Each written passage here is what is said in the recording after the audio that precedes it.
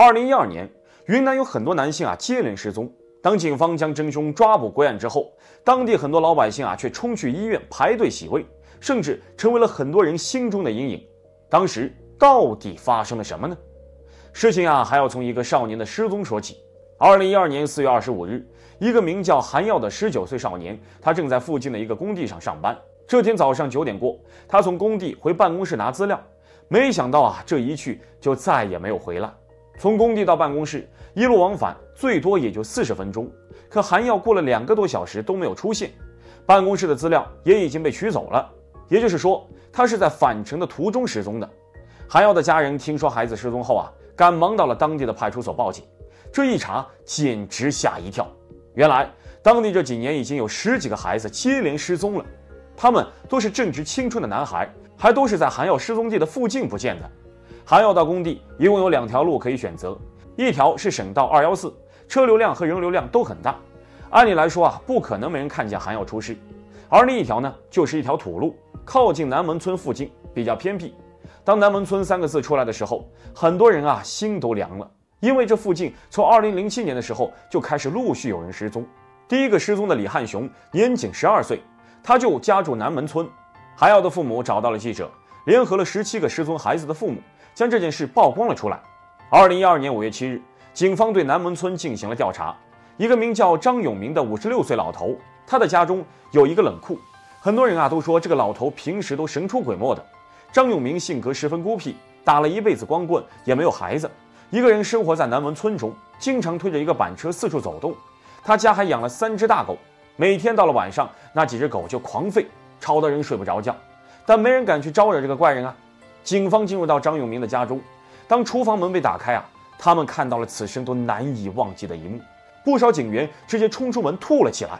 厨房内墙面和地面都被血迹染色了，地上随意摆放着一条条的大腿骨，里面还有不少塑料桶，掀开一看，还能看出人体组织的模样。警方又在一个暗房中找到了好几个大麻袋，里面装满了衣服、手机和一些证件，全部都是当年的这些受害者的。办案民警意识到。眼前的这个男人就是个杀人魔，案情啊比想象中更加复杂可怕。于是警方扩大了搜索范围，将张永明的冷库和菜地以及周围的小树林都翻了个底朝天。当时警方挖出是什么东西啊？骨头嘛。啊，有多有多大？大人的也有，小孩的也有。啊，是被分了的，还是说整整整体的这么一段一段的？也不清楚了，他们也不准到靠近看吧。最终确定了这些人体残骸属于十七名失踪男孩中的十一人。本以为他只是个杀人狂魔，可警方一个新发现却让人毛骨悚然，甚至惊动了整个昆明市。有不少当地的老百姓都齐刷刷地跑进医院排队洗胃。这张永明还干了什么伤天害理的事呢？当地百姓排队洗胃又是怎么一回事呢？画面中，这个头发花白、看起来十分瘦弱的老人，就是杀人狂魔张永明。上集我们讲到，十九岁少年韩耀失踪，而这条路上呢，已经接连失踪了十七名青少年。警方在抓捕张永明的时候啊，发现了大量的人体组织，鸵鸟肉卖鸵鸟肉喽！一个五十多岁的老汉正在路边叫卖，他的生意呢非常好，很多人都想买来尝尝鲜，可以说啊是供不应求，还经常断货。很多顾客啊都让他加大进货量，说每天就卖这么一点，怎么够吃呢？老头却只是笑了两声，没有说话。还有一些人见鸵鸟肉的生意这么好，自己呢也去进货摆摊，但有人吃过之后就说：“你们这的东西和张老头的比差远了，是不是以次充好啊？”